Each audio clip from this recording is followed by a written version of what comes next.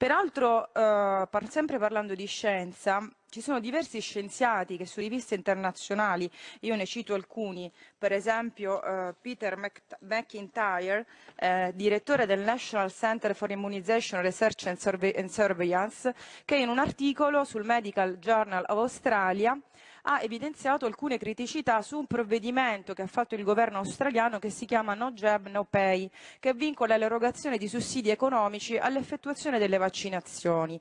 E anche ricercatori di differenti università negli Stati Uniti, in un articolo il cui ultimo autore è Walter Orstein, per molti anni direttore del programma di vaccinazione degli Stati Uniti presso il Center for Disease Control and Prevention su JAMA Pediatrics, in cui invitavano a valutare con molta attenzione e cautela l'eventuale rafforzamento delle misure coercitive. E anche il BMJ, noto uh, giornale antivaccinista, nei giorni scorsi ha uh, riportato una discussione che c'è stata uh, tra i rappresentanti della British Medical Association eh, durante la quale discutevano proprio dei nostri provvedimenti, il provvedimento italiano e francese sull'obbligo vaccinale, riportando i pareri sui determinanti dell'esitazione vaccinale di Andrea Hammond, direttrice dell'European Center for Disease Prevention and Control, cioè il Centro Europeo per il controllo e la prevenzione delle malattie, e di Rob Butler, programma program manager dell'ufficio europeo dell'Organizzazione Mondiale della Sanità. Quindi vede anche eh, gli scienziati, quelli che eh, lei chiama eh, diciamo a sproposito in causa eh, in una decisione che è di tipo politico, non sono tutti eh, unanimi, anzi al contrario ci sono molte voci critiche ehm, sull'uso della coercizione dell'obbligatorietà in una pratica vaccinale, perché di questo si parla. E ritornando all'Organizzazione Mondiale della Sanità, anche quello mi fece impressione quando lo disse, perché Mentre eh, diciamo nel nostro paese, come in molti paesi europei, si è sollevata una protesta nei confronti dei famosi trattati TTIP, del famoso CETA, nessuno diciamo, era venuto a conoscenza di un trattato che imponeva a tutti i paesi l'obbligatorietà sui vaccini, perché di fatto l'Organizzazione Mondiale della Sanità non dice questo, dà dei goal, degli obiettivi di politica sanitaria, su cui peraltro io personalmente avrei qualcosa da dire, ma semplicemente perché eh, il dubbio il sale della vita, quindi bisogna sempre chiedere, chiedersi, farsi le domande e dare delle risposte eh, convincenti. Ma in realtà però eh, l'Organizzazione Mondiale della Sanità non, ma, non, ha mai detto che bisognava utilizzare la strategia coercitiva. Né l'OMS né l'NCD, in quell'articolo che riportavo prima, raccomandano l'obbligatorietà vaccinale e non vi è alcuna evidente associazione tra vaccinazioni obbligatorie, senza altre misure, e l'aumento della copertura vaccinale. Sempre la dottoressa Emmon, direttrice direttrice delle CDC o CDC, come si voglia dire. Ma tornando all'Organizzazione Mondiale della Sanità, io quello che voglio dire e che comunque è un'organizzazione fatta da uomini e come tali questi uomini possono sbagliare. E questo è già successo in un caso che tra l'altro ha visto il nostro paese protagonista che è il caso uh, del Tamiflu. E lo cito perché addirittura sempre la nota rivista antivaccinista cioè il British Medical Journal ha creato una pagina permanente per la storia del Tamiflu allora, cosa successe? Successe che nel 2009 l'Organizzazione Mondiale della Sanità ehm, mise, eh, cioè ehm, ehm, classificò come farmaco essenziale contro l'influenza il Tamiflu. In, quel momento il livello eh, di allarme proposto dall'Organizzazione Mondiale della Sanità per quella pandemia si rivelò incauto ed eccessivo. Le sue conseguenze furono enormemente meno gravi rispetto a quelle inizialmente previste, cioè quelle della famosa pandemia.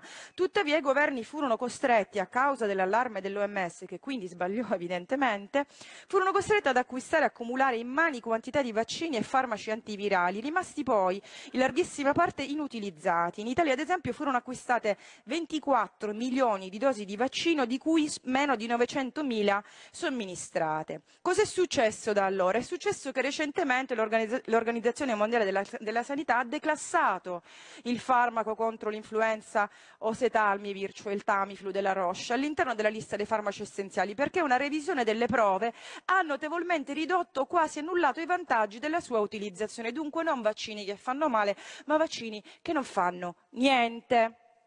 E eh, addirittura scrivono i ricercatori del BMJ, hanno riassunto eh, diciamo, i punti essenziali di questa, di questa vicenda incredibile e li hanno riassunti così.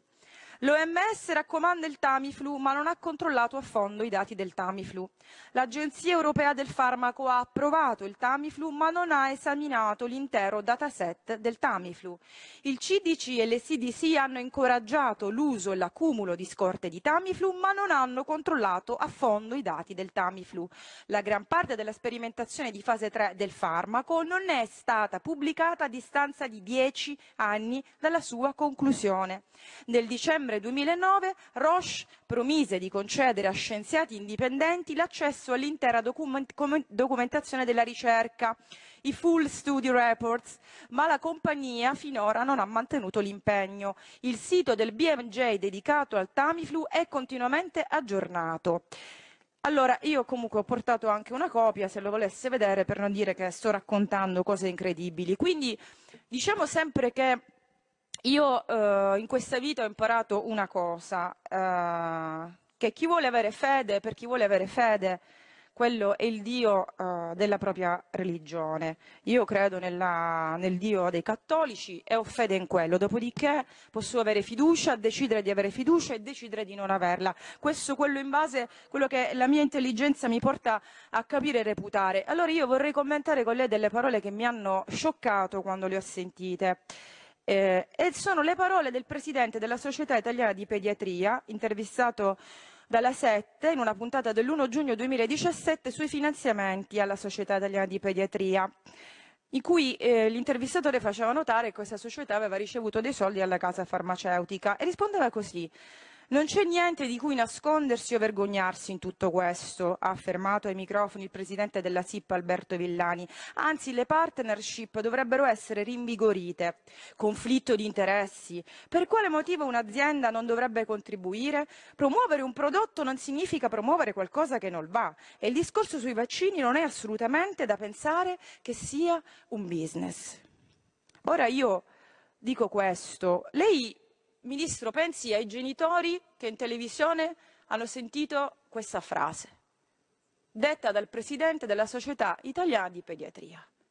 Ora, probabilmente eh, la mh, mm, fibra morale del Presidente è tale per cui egli, eh, egli, non ravveda un conflitto di interessi, però io lo rassicuro che ci sono tanti altri cittadini in Italia per la cui fibra morale quello è un grande conflitto di interessi e preoccupa la, ehm, la nonchalance, eh, la tranquillità con cui questo Presidente ha fatto questa affermazione. E questo lo dico perché, come lei sa, eh, le società farmaceutiche sono per fortuna, diciamo, costrette a pubblicare i dati in base a un regolamento europeo sui versamenti che fanno a, insomma, a, a tutti i fortunati eh, ricevitori.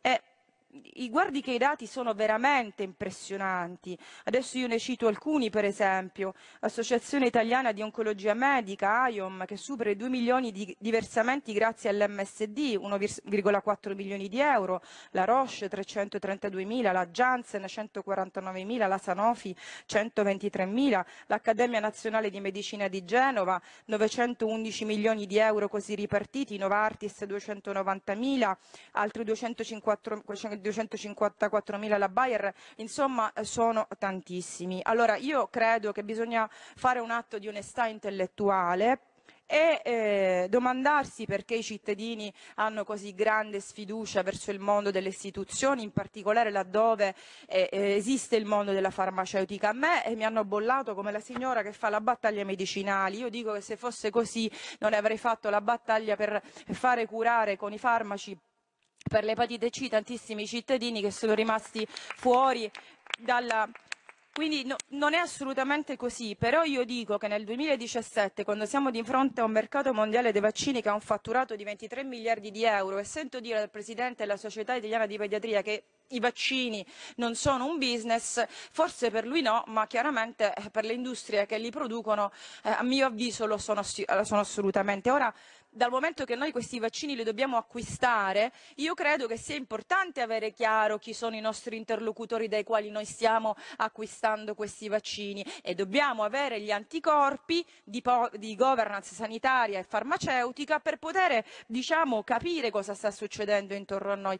Allora, quando si fanno scelte di politica sanitaria, signora Ministro, è l'agenzia eh, di quel paese che si occupa di eh, concorrenza sul mercato, che da noi è l'antitrust, dà tutta una serie di indicazioni su 100 pagine di indagine e vi dice che dovete fare l'Health Assessment Technology, vi dice che ci sono dei monopolisti sul mercato che per strategie commerciali hanno deciso di produrre solo i farmaci in formulazione plurivalente, vi dice che ci sono eccessi di clausole di riservatezza nei contratti commerciali e che le regioni hanno difficoltà a fare gare che assicurino risparmio di spesa perché non sono a conoscenza di quelle informazioni. Quando a fronte di tutto questo lei mi risponde il Ministero fa il Ministero l'antitrust fa l'antitrust, a me mi cadono le braccia per terra e penso che cadano a chiunque perché questo non è ammissibile. Quando sento dire da lei o come da altri suoi colleghi, anche se è già immunizzato, gli rifacciamo il vaccino, come se noi non, fossimo nelle, non avessimo il pareggio di bilancio in Costituzione, mi ricadono le braccia due volte. Allora, sinceramente, non ci venite a raccontare che dobbiamo chiudere i punti nascita che hanno 497 porti l'anno, non ce ne hanno 500, oppure che dobbiamo chiudere piccoli ospedali che hanno bilanci di 10-15 milioni di euro, quando poi con questa allegria siete pronti a buttare eh, euro come se ce li regalassero. Non ci credo più. Allora io dico questo, quando il collega Gelli dice noi non stiamo intervenendo sull'emergenza ma noi facciamo per il futuro, bene collega Gelli, allora facevamo una legge, intervenendo sull'emergenza, facevamo una legge, così per il futuro ci preparavamo. Decidetevi, perché nella vostra relazione avete scritto che noi stiamo intervenendo per l'emergenza, dicendo tu, onorevole Gelli, che è sbagliato intervenire nell'emergenza, insomma, però vi dovete decidere voi o stiamo intervenendo nell'emergenza o no, perché sennò non si capisce. Quindi se volevate fare una legge noi eravamo qua, eravamo disponibili e tutti questi dati li avremmo esaminati in maniera precisa con tutti i numeri a nostra disposizione. Siccome così non è stato e anziché fare decreti legge per i morti eh, da inquinamento ambientale, eh, per il diabete che farà mh, milioni di vittime e di invalidità e lo dicono tutti i report, per le malattie alcol correlate, per le malattie dal gioco d'azzardo, non abbiamo fatto un decreto per tutte queste malattie, facciamo un decreto che non interviene sull'unica classe di popolazione 15-39 anni che in questo momento è il rischio, non lo facciamo per gestire un'emergenza ma per il futuro, potevamo fare una legge, insomma. Detto questo, noi voteremo convintamente contro un decreto che è fatto veramente senza alcuna logica dalla testa ai piedi. Grazie.